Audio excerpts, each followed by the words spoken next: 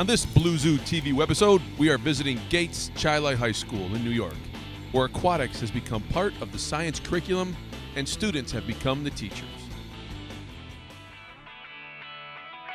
Hi, welcome to the fifth grade tours at the Gates Chili High School atrium. Hope you enjoy them. This is the second year for the aquatic atrium tours, and today over 400 fifth grade students from around the area have come to learn hands on about aquatics, ponds, the rainforest, and botany, with some fun and games along the way. This is the teacher, the main guy.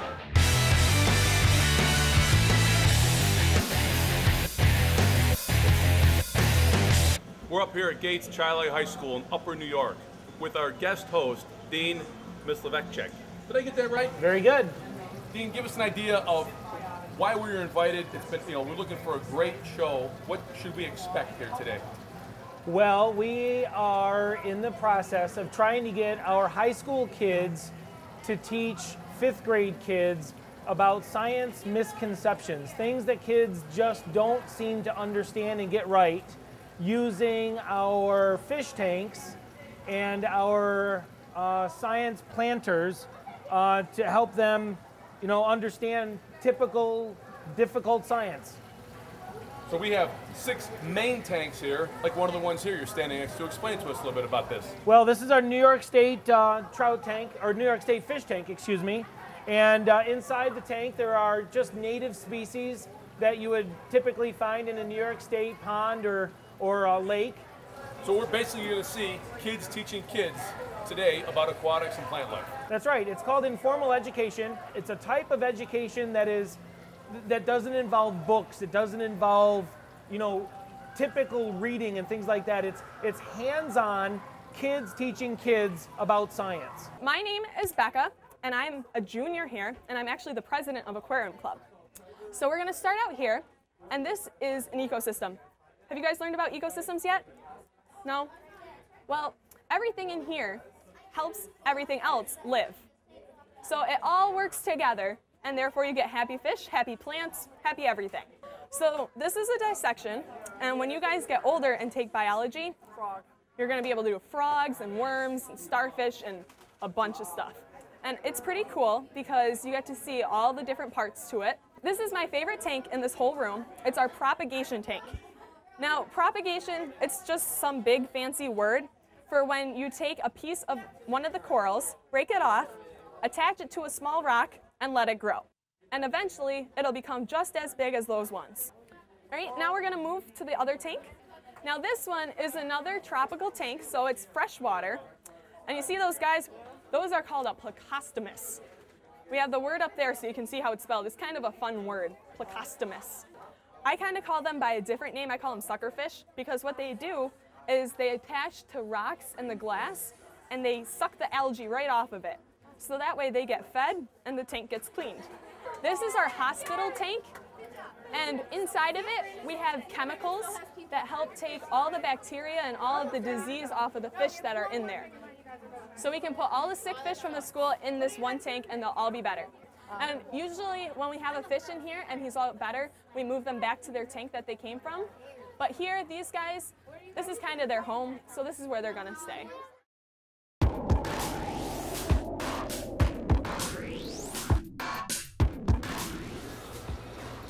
Hi, I'm Taylor, a senior at Gates Chili High School, and I'm the secretary of our aquarium club.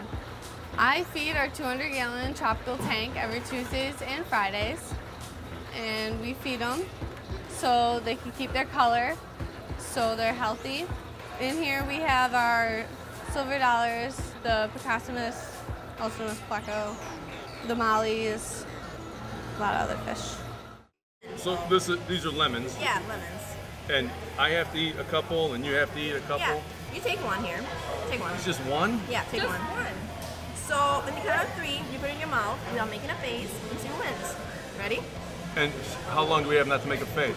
I don't know until the one wins. Someone. So you're gonna you're gonna count to three? yeah. All right. One, two, two, three. Two. two, three. three. I won. Not the whole lemon. What do you mean you won? You lost. I thought you were supposed to eat it. You know what? You just Jen just set me up. Thanks. I'm Scott. I'm a freshman at Gates Chili High School. Um, talk about this 240 gallon reef tank. There are all types of things in here. There are a bunch of different fish like you've seen dory, hippo tang. Uh, there's two Ocellaris clownfish right there, which is Nemo. Yeah, that's a maroon and gold. Oh, that's a skunk. Uh, there's a bunch of different coral in here. Uh, there's a tube worm, feather duster right here. That's actually a worm inside there, inside that hard tube. Um, we propagate coral, so see that rack up there? That's where they break off pieces and they put it on there to sell. Um, everything grows, gets pretty big. And there's also a diamond goby on the bottom. It sifts out the sand. This feather duster also sifts through the water, cleans out all the bad impurities. You guys got any questions?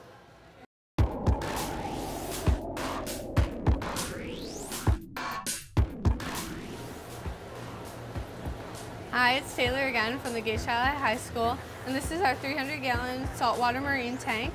In here we have our Vlamingi, foxface, Picasso triggerfish, porcupine puffer, and we also feed them every Tuesdays and Fridays. Keeps them happy, healthy, swimming around. Hi, I'm Mike Leinberger of Gates Chili High School. I'm a junior here, and I help run all these tanks. This is our propagation system over here.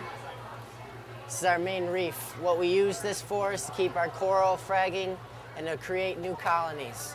Up top, we have a refugium. It keeps uh, fresh water flowing into the tank and helps create bacteria back into the water. Down below, we have our filtration systems, biodocs, and uh, tubes that help reflow the water back up into the tank. This helps prevent our tanks from being dirty and it helps them to stay fresh throughout the weeks that we have them. Over here is our pelagic tank. This is all our aggressive fish at Gates. We have our lionfish, puffer fish, tangs, types of community fish that we all use these to show that we can have aggressive and community still together. Down below we have our, our biodoc system here. It's, it takes the lights and let, allows it to go on the gravel and it still comes back up and then make fresh water. Don't miss the next Blue Zoo TV webisode where we conclude our fantastic visit with the students at Gates Chili High School and their fifth grade aquatic atrium tours. Have you heard? Blue Zoo TV's got a new crew. This is just to show you that we do have fans.